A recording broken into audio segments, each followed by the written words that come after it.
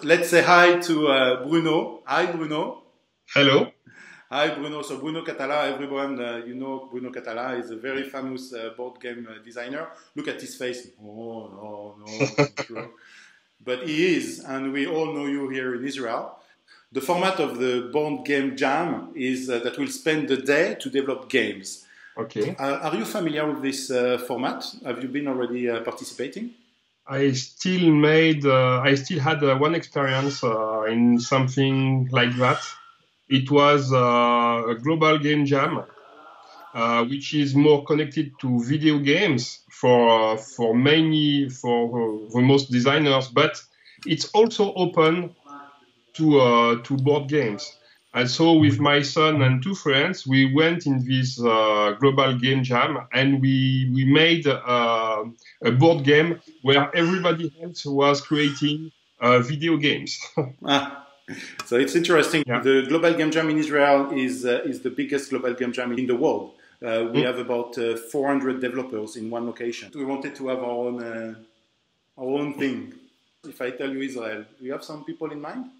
Um, yes, but I don't know their names. I, yes, but I just know that uh, Cocktail Games uh, worked a lot with designers of Unanimo, if I'm, mm-hmm. I'm Yes. So, uh, so the only uh, Israeli game designers I know are, are them. Okay. So I was knowing you, but I didn't knew that you were Israeli. In fact. yes, yes. I, I, I, when we met in Essen, I thought you were French. but I am French as well. I spent 20 years in France and 20 years in Israel. So. for, for me, in fact, uh, the country where you are living doesn't matter. We all belong to the same family, gamers. I completely agree. I never had the opportunity to, to, to come to Israel. So you're welcome for uh, whenever you want. You have guides, you have friends, uh, you have uh, you have the red carpet for you. So you are co-authoring a lot of games, right?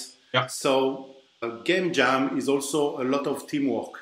Uh, mm-hmm. How do you see the complementarities between different authors working on the same game?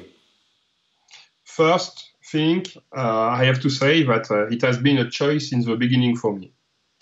Uh, you know, if you are speaking about writers, for example, it's a common thing to say that a writer writes the same story all his life always the same team, etc., etc. And I think that for a game designer, it's the same. That means that your brain, never mind what you want to do, uh, comes again and again in his comfort zone.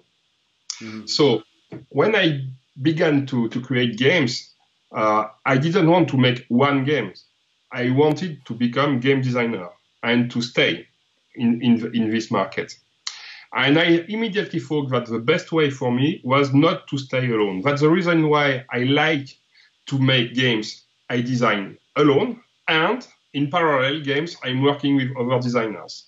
It's, it's the best way for me uh, to to have the opportunity to explore uh, things that I would never have thought if I stayed alone, for example. Mm-hmm. It's not always easy because that means that you have to accept to cancel ideas you really like, and sometimes it's hard. And that's the reason why I think that the best way is to work with one co-designer, not a big team, because there is no majority. That mm. means when we have a discussion, when we don't agree, we have the time to take time enough that we agree at one point. Mm. Okay? If we are free, immediately it's two against one. We have the majority. You don't have the time to to abandon your idea. In fact, mm-hmm. this is a very interesting point, and that's very relevant for for today and for the for the jam. You work a lot remotely as well. For sure, yes. Uh, in France, uh, distances are bigger than yours. yes. And that means that we are working a lot um, by Skype with Skype sessions, etc. Mm-hmm. And uh, then we each have our playtester groups. Mm-hmm. And it's interesting to have playtesting with different groups and then to compare what happens. We just make a report and. Uh, mm, I understand. Do you think it's possible to win at uh, five tribes if you don't use the gods? for sure. no, no, but five tribes. You have you have uh, many ways to, to score points, and uh, I design uh, I balance the game in order that nothing is mandatory. For example, I won many times without any camel on the board. I, I won many times without any yellow meat. yeah? Yes. I won many times We were without any green cards, without any resources. So it's just a question of looking what is possible, what are doing the, your opponent, and find your own way to be better than them. It's a kind of game in which you cannot decide before the beginning of a game that you will uh, take that or that strategy. And that's also exactly what I wanted to, to put in that game because I prefer uh, to call the uh, adaptability capacity of a player than having learned slowly the best way to win. when you have a prototype, you like it to be polished, to look like final, or you, are you like able to start showing a game that is just piece of papers? The, the most important is that you immediately get the information you, you need to be able to play. The ergonomy is really important. That means that since the beginning of my prototypes, I, I take care of that. Mm-hmm. It has not to be nice, it has to be efficient mm-hmm. for, for your decisions.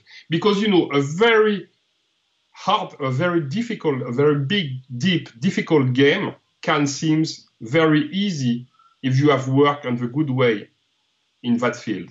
For example, if you take a, a game like Scythe, for example, wow. Scythe is not it's a complicated game, but the ergonomy makes it simple. And you can you can have exactly the opposite. You can you can have very simple games, which seems very hard to master just because you don't find the information easily. So that means that the game, in, in my opinion, since the beginning of the prototype, we have to take care of that. Where are the good information that people need to be able to take the decision? At the early stages of a prototype, I don't take big care about uh, illustrations, things like that, etc. If your prototype is too close to something which could be just published, they can't imagine it another way. That means that they have not the opportunity to imagine it in their own uh, um, line, in fact. You can have less chances to be published if you come with something which seems too finished, in fact. You have to take your time in really balancing your game and mechanism, not to take your time to spend your time in something that is that belongs to the publisher. In fact. Mm-hmm. Do you want to, to, say something to the Tel Aviv crowd? I want to say hello, and uh, yes, I will be very happy to to to have the opportunity one day to to meet them on a on a festival in Europe or never mind somewhere in Israel one day. Maybe so if you come to Essen, don't don't hesitate to to come to me and say hello, and you will never disturb me. In fact. Thank you so much for your availability. Uh, we like you very much here, and we are very happy to have you among us today. And thank you for your kind words. Thank you, Bruno. Thank you.